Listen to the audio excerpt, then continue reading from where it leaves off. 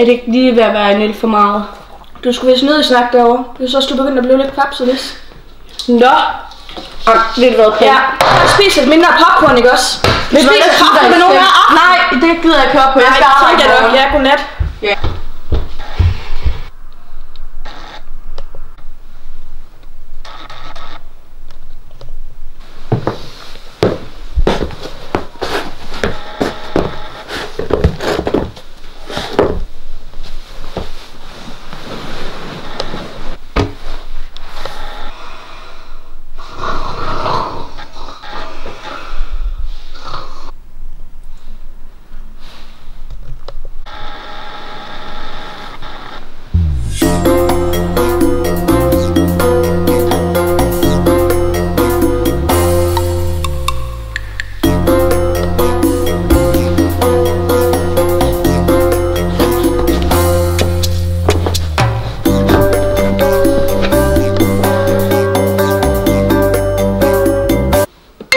Arbejde.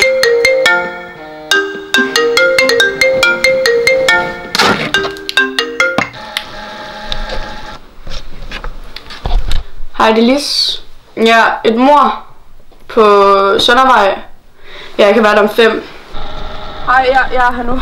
En øh, 17-årig pige. Ja. Blev stukket ned. Hvor mange gange? Syv gange i brystet.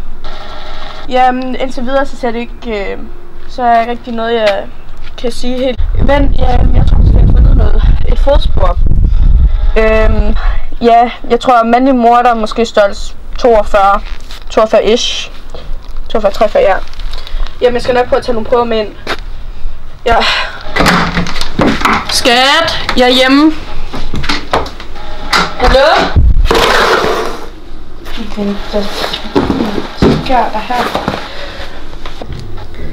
Hallo, Paul?